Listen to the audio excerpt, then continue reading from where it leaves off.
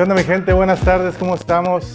Les habla Johnny Aguilera de Creativo Gráfico y hoy les vengo a hacer un video o compartir un video de lo que es el transfer serigráfico.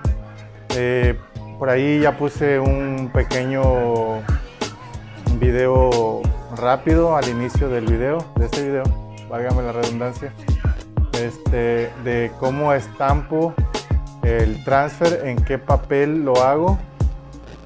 Eh, solamente se ve el papel que uso, cómo lo estampo y cómo le aplico el polvo hot melt o conocido como poliamida.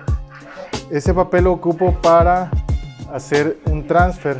Es como una calcomanía, como esto, solo que se pega en la tela. Lo hice en tres colores, lo hice en negro, lo hice en blanco y lo hice en plata. En ese pequeño video no usé el presecado porque eh, no se justificaba estar ocupando el gas para este, la cantidad que hice de transfer. Hice como 8 hojas nada más de todos los colores porque en realidad fueron 15 chalecos. Aquí les muestro cómo quedó el chaleco ya, ya planchado.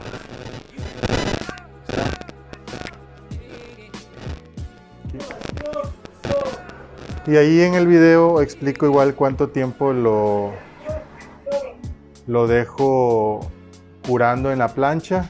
Lo dejo, les, bueno, los voy a repetir ahorita en este inicio de video. Les pongo 15 segundos a 150 grados centígrados para planchar el, transfer.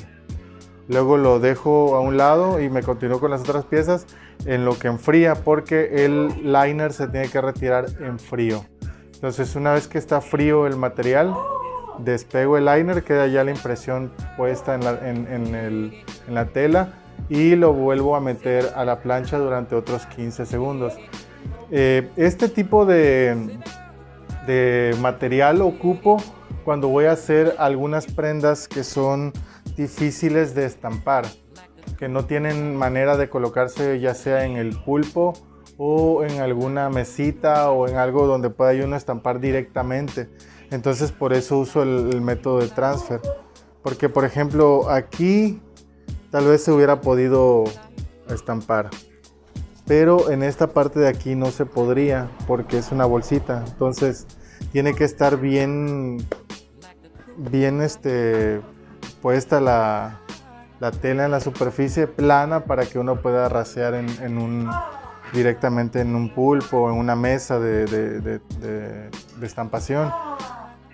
Y como iba yo a hacer los transfer para esto pues decidí hacerlo todos todos los, estampados en la hoja de transfer por eso saqué tanto el logotipo como el personalizado del nombre y el logotipo de atrás, que es el completo.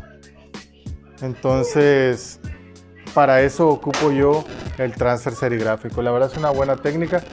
Eh, por ahí tengo la intención de hacer transfer serigráfico en selección de color o simulación de color, pero sí para especificar que solamente se podrían usar eh, la selección de color se puede poner en cualquier tipo de prenda porque llevaría la base blanca. Eh, también la simulación, pero cuando sea simulación de color, o esa es la idea que yo tengo, nunca lo he hecho, la simulación de color tendría que ser solamente para prenda oscura. Eh, entonces voy a hacer pruebas a ver cómo me quedan, a ver qué tal salen y a ver si resultan, porque si resultara que quedan bien, estaría muy, muy, muy padre que cuando yo hago diseños, ustedes han visto que en, mis redes sociales, los que me siguen en mis redes sociales, tanto en Facebook como en Instagram y en, TikTok, subo los diseños que yo hago, no todos los estampo, trato de estampar algunos para tener a la venta en línea, pero cuando junto cierta cantidad de pedidos, entonces si yo voy a hacer las pruebas y yo logro eh, comprobar de que queden bien, y se puedan estampar en las prendas que, que yo pueda realizar, eh, estaría muy muy bien porque la verdad el papel es muy económico eh, y se conservan durante mucho tiempo.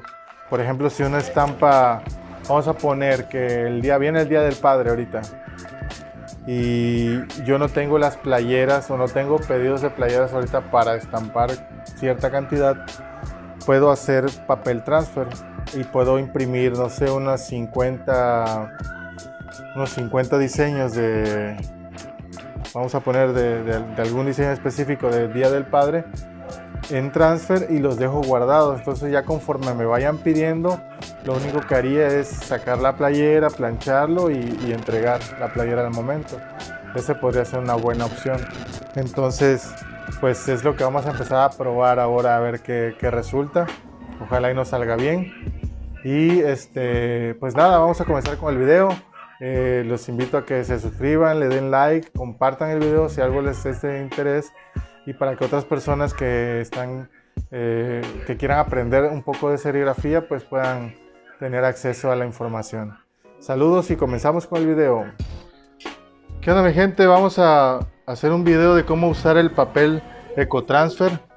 Les voy a mostrar la manera de, de cómo lo plancho y por qué lo uso o para qué efectos lo uso. Esto se imprime con tinta plastisol, como si fuera serigrafía común, tela, solo que se imprime en este papel que se llama papel ecotransfer. Ya les hice un video la vez anterior, pero no les había puesto cómo, cómo lo pego y para qué lo uso.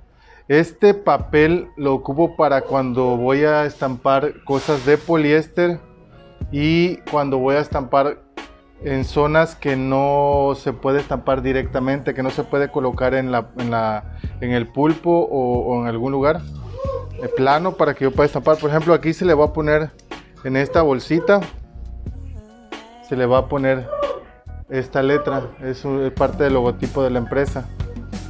Acá se le va a poner este, el nombre, aquí. Y acá atrás ya le pusimos ya le pusimos el, el logotipo de la empresa, igual en papel EcoTransfer. Todo esto se hace de, en dos procesos. Se pega primero el papel EcoTransfer en el área donde, donde lo requiere. Por ejemplo, este chaleco. Ahora déjenme le busco la forma que ya la perdí. A ver, acá está. Ese chaleco va a llevar ahí atrás y acá al frente, en la parte en el pecho del lado izquierdo. Entonces en esta bolsita va a ir la, la, G que está aquí. Ya la tengo, ya la tengo lista para ponerla. Entonces ahí me voy a fijar cómo, cómo está, qué dirección tiene. Y más o menos la coloco aquí. Centrada en la bolsita. Vamos a tratar que no nos estorbe nada. Por ejemplo esto me estorba a la hora que yo cierre la, la plancha. Entonces lo, lo jalo de tal manera que no me estorbe. Y lo colocamos aquí así entonces voy a prender mi plancha. Y que alcance la temperatura les, les digo cómo hago el proceso. Yo el papel ecotransfer lo plancho a 150 grados con una presión media no tan, no tan fuerte. Y lo despego hasta que se enfríe el papel. Ya que se enfríe el papel puedo despegar el, puedo despegar el liner para que quede ya la, la pieza estampada en la prenda y después se le da otro planchado ya sin el papel directamente a la tinta para que termine de anclar. Se le dan otros 15 segundos igual presión media. Y la temperatura como les digo son 100, 150 grados Ok, aquí ya tengo colocado el logotipo en la bolsa en la posición que requiero y acá tengo el personalizado que lleva, lleva nombre cada chaleco. Aquí le estoy poniendo el primer nombre, más o menos lo dejo a la distancia que necesito que quede centrado en, el área de, del chaleco y que esté derecho, que no esté chueco, no se vaya de lado ni nada. Entonces ya los tengo ahí colocados, ya tengo la temperatura, ya la alcanzó mi plancha y ahora voy a bajar la plancha y que se haga el proceso. Ahorita lo dejo aquí 15 segundos. Levanto la plancha a los 15 segundos y lo dejo que se enfríe para poder retirar el liner.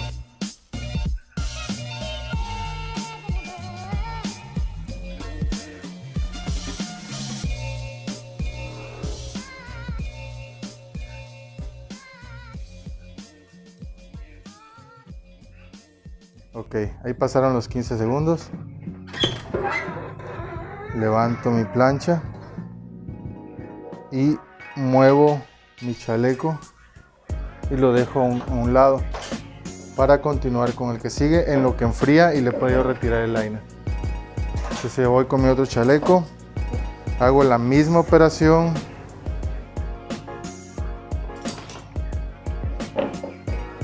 Lo coloco en la plancha, libero esta parte para que no me estorbe cuando cierra la plancha. Coloco mi papel ecotransfer.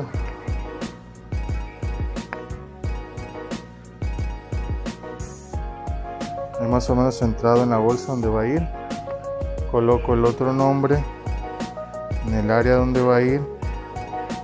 Centrado y alineado. Y bajo mi plancha otra vez. Otros 15 segundos.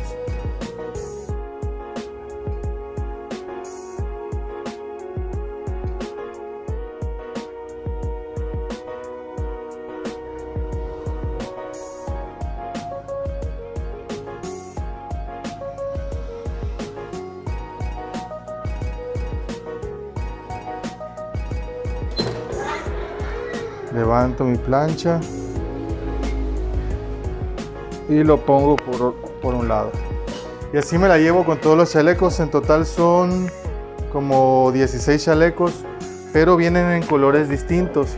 Entonces yo lo que hice fue que imprimí según el color que me pide el chaleco para que contraste. Por ejemplo en este lo estamos poniendo en negro porque el chaleco es claro.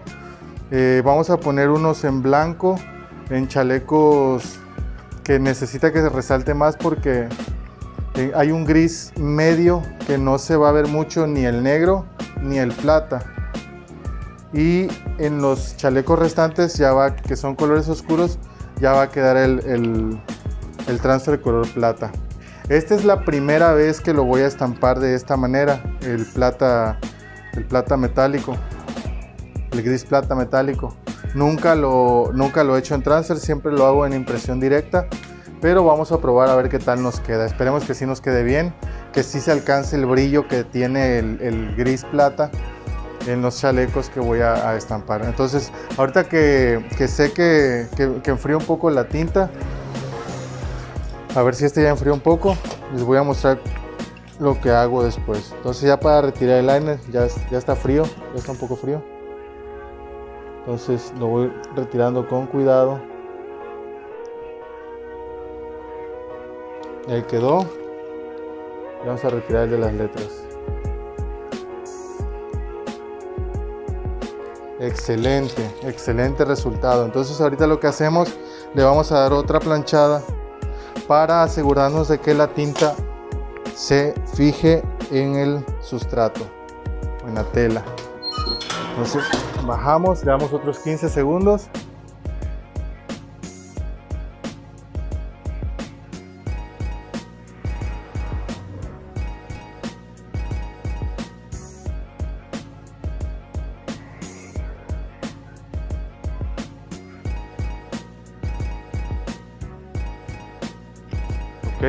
ya pasaron. Y nos vamos a la parte de atrás para plancharla también. Y acabar de termofijar la tinta también aquí